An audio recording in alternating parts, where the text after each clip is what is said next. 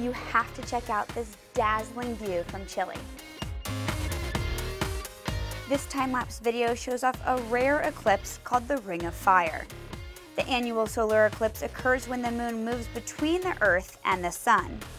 And since the moon is too far away from the Earth to cover the Sun entirely, we get this glorious effect. If you're wondering why you missed it here in Tampa Bay, you aren't the only one.